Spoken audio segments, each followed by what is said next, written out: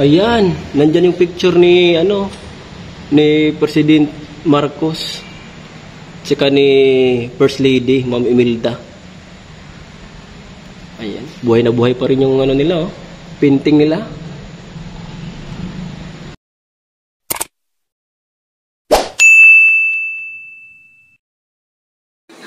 Aakyat po kami sa Marcos Mansion. Ayan.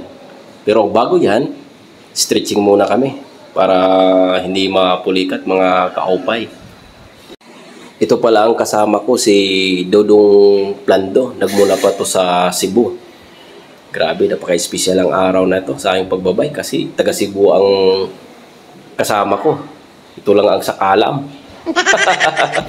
Puntahan natin yung Marcos Mansion. Malapit lang dito sa area namin.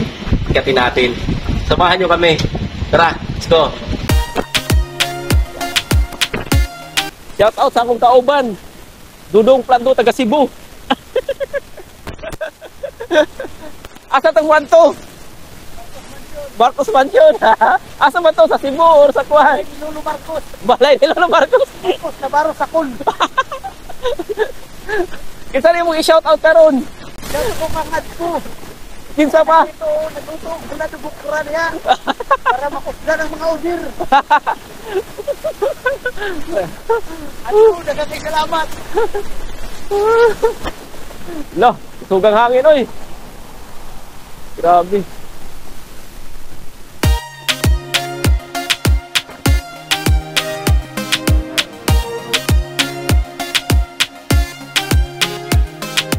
Yun. Maganda pala dumaan dito sa Nuvali, mga kaopay. Kunti lang dumadaan ang mga sasakyan. Ayun. Tsaka napaganda ng daan dito. The same time, sariwa po yung hangin. Kaya sulit na sulit itong pagbabike namin mga kaopay. Papuntang Marcos Mansion.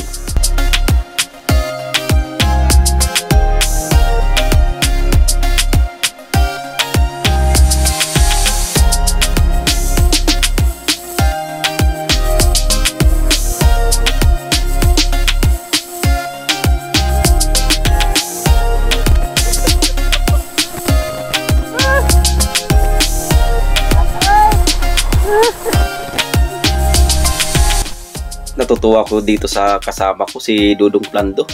Talagang enjoying magbike. Mabuti na lang na-invite ko siya dahil ilang years na daw siya na hindi nakakapag-bike. Ngayon lang ulit na na-invite ko. Kaya ayun, tuwang-tuwa. Nako, ang bilis lang. Nandito na kami sa tulay. Pakyat na kami. Doon sa unahan, ayan. Pakyat na yan pakanan kami papuntang Barangay Kasili. Din malapit na yon sa Marcos Mansion. Kaya ayun, tara. Arat lang ng arat tayo mga kaopay. Pero ingat lang tayo sa pagbabike.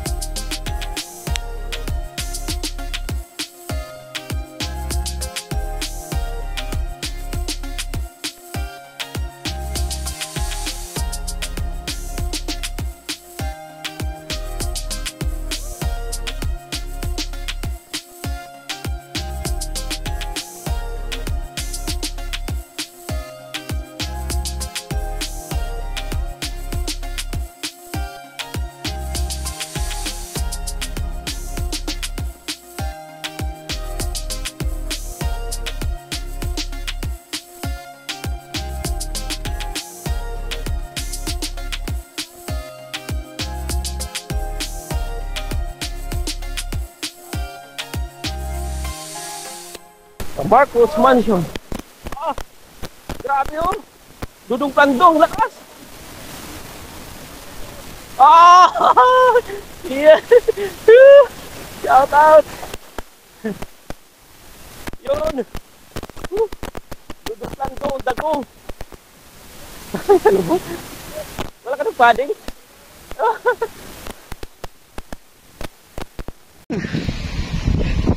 Dito na tayo sa ano, ayan. Barangay Kasili, ayan. Si Dudong Plando. O yan, no? Enjoy talaga. Nag-enjoy taga Cebu. ayan, Kasili. Na tayo dyan. Papuntang Marcos Mansion. Kakyatin natin yan. Pakyat oh. paahon nito mga kaupay, medyo mataas, kurbada siya. Kailangan ingat lang tayo sa ano, pa paakyat. Si, delikado, baka mabangga tayo. Guys! Gahay kayo na naman to. Grabe! Whew! Ah! May beer pa. Grabe. Ayun, nandito na nga kami mga kaupay sa Marcos Mansion. Ayan, it's an honor talaga na nakarating kami dito. Kasi ito, historical talaga to. Kaya dinayo natin itong bahay ni Lolo Marcos.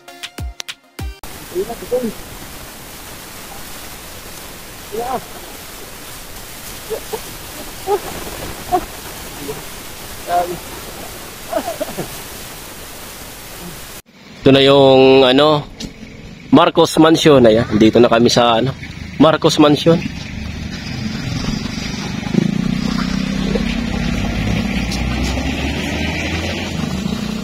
Marami nagbabike dito.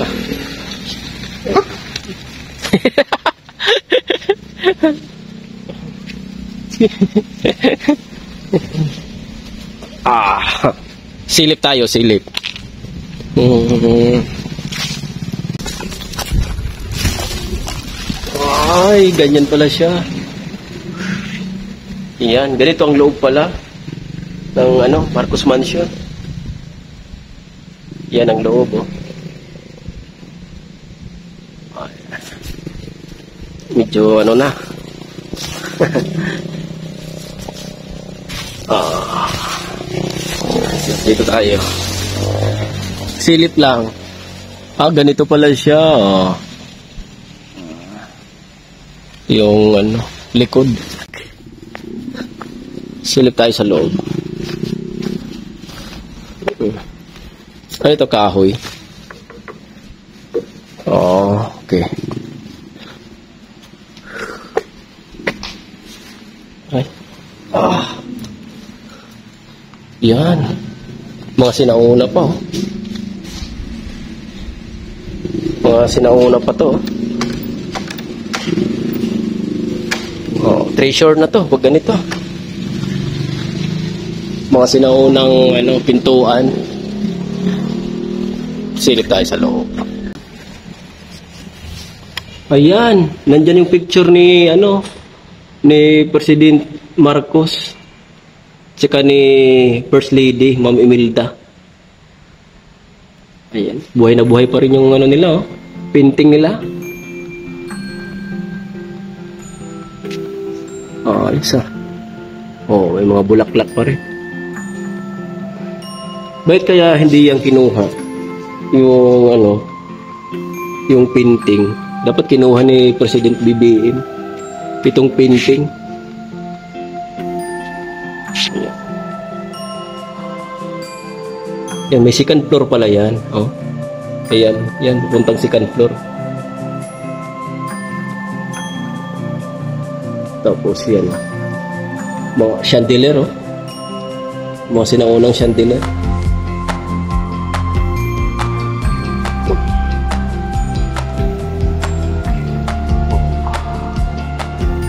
Yun. Ayan. Buhay, ang laki pala nito, oh. Yan, may terrace. Tapos yan ang pangalawang bahay. Yan. Sali pinagdugtong to. Ayan o, pinagdugtong siya. Ayan.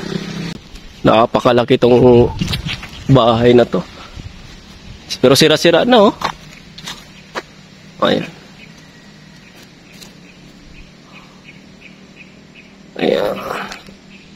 Nasisira na lang siya oh.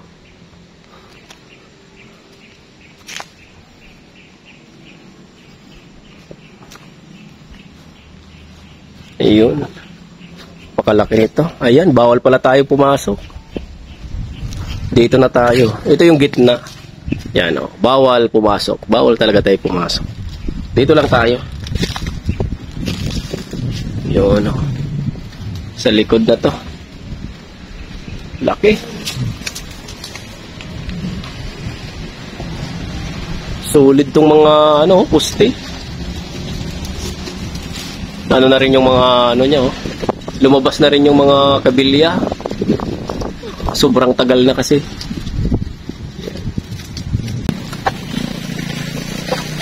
Uy, ito yung ano, mapa oh. Yan, mapa ng Pilipinas oh.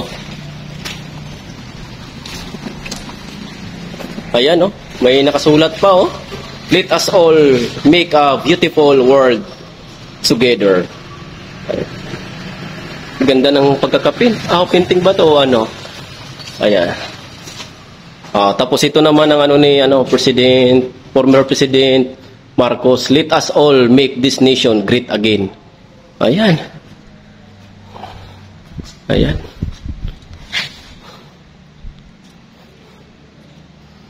Ito yung mapa, oh.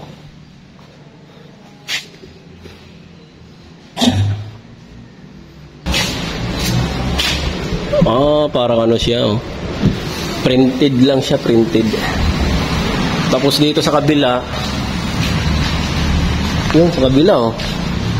Ayan. Mapa rin siya, oh. West, South, East, North. Gold, oil, deuterium, tsaka God. Ah, ayan. Pacific Rim, 32 one half percent of the world's surface.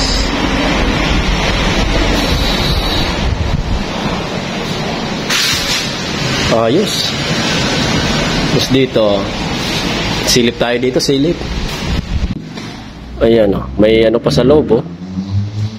May painting oh. Si Adan at saka si Iba to oh. Yan. Buhay na buhay pa rin ang obra oh. Ang Galing talaga ng painting yan. Ah.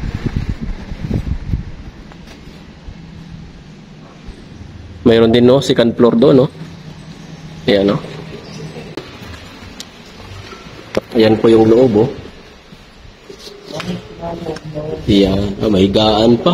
Saan? Ah, tapos yun ang hagdan, no? Yun ang hagdan sa kabila.